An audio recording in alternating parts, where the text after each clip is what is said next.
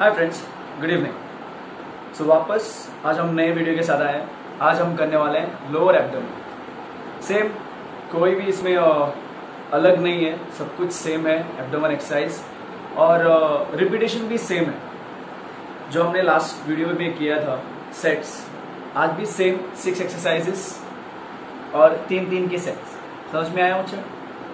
So six exercise तीन तीन के सेट्स और लोअर एब्डोमेन आजकल आपको पता है बेली फैट जो है लोअर एब्स में आता है। बेली फैट नीचे आता है और नीचे जो भी एक्सरसाइज होता है लाइक लोअर एब्डोमेन के लिए, वो सब बहुत मुश्किल होता है करने के लिए, हर किसी के लिए। अपर एब्डोमेन हम लोग बहुत इजीली कर लेते हैं ओके यूज़ टू है करके, क्योंकि हर एक जो भी हम लोग काम करते हैं, दिन ब दिन, वो, उसमें हर चीज़ में ना अपर एब्डोमेन इन्वॉल्व है। बट लोअर एब्डोमेन के लिए आपको स्पेशल थोड़ा सा ना एफर्ट डालना पड़ता है।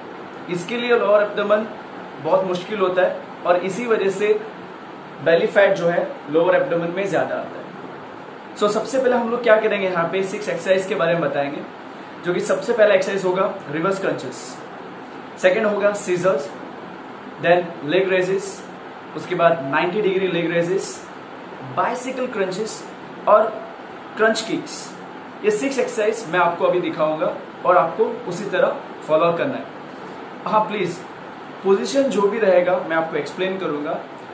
बेटर अच्छा रहेगा कि आप उस पोजीशन को मेंटेन करें. उस पोस्चर को मेंटेन करेंगे तो आपका एक्सरसाइज और भी अच्छा होगा. So we'll start with the class अच्छा तुम सो जाओ. फाइन सो सबसे पहला एक्सरसाइज था रिवर्स क्रंच रिवर्स क्रंच में आपको अपने पोजीशन को मेंटेन करना ही सबसे बड़ा बात होता है. इस पोजीशन को मेंटेन करना ही सबसे अहम हिस्सा है रिवर्स क्रंच के लिए। सेम यहाँ पे होगा 90 डिग्री से थोड़ा आपको नीचे पैर लेके जाना है। हाथ नीचे रखो, यहाँ पे रखो, या फिर जहाँ आपको लगता वहाँ रखो। बट प्लीज़ कमर के नीचे मत रखो। हाँ अगर आपको किसी को अगर बैक प्रॉब्लम है तो आप नीचे हाथ रख सकते हो। ओके अदरवाइज़ पोजिशन मेंटेन करना है। और आपको जो है लिफ्ट करके वापस उसी पोजिशन में मेंटेन करना है। लिफ्ट मेंटेन सो अभी यहाँ पे क्या होगा? जब आप लोअर क्रंच करेंगे सो आपको सबसे पहले ब्रीथ आउट ब्रीथ इन फिर breathe out breathe in so ये हो गया सेट ओके अब ये पहला एक्सरसाइज आप 15 20 25 के सेट में भी आप कर सकते हो. Second exercise is scissor okay so scissor में आपको क्या करना है? सबसे पहले आपको लेटना है. ठीक है। लेटने के बाद आपको हाथ यहाँ पे रख सकते हो, यहाँ पे।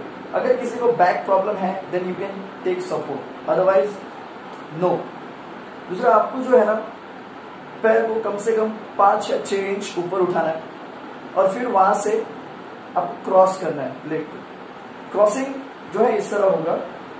क्रॉस लाइक दिस यहाँ पे आप अपने चिन को, अपने चेस्ट के साथ रख सकते हो।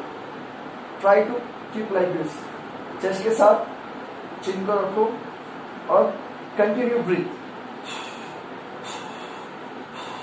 breathe in breathe out breathe in breathe out कहीं भी आपको ब्रेक नहीं लेना है ब्रीथ के ऊपर. ब्रीथ कंटिन्यू रहेगा और चिन यहीं पे रहेगा. और जो आप ब्रीथ लेंगे, उसी में आपका एप्स में इंप्रूवमेंट होगा और वहीं पे आपको उस, वो जो टेंशन है, वो जो प्रेशर वो आपको फील होगा सीजर्स में. सो so, आगे बढ़ते हैं। Next exercise leg raises leg raises दो तरह का है। एक मैं बता रहा था 90 डिग्री वाला और एक नॉर्मल अब नॉर्मल जो लेग रेज है इसमें क्या होगा?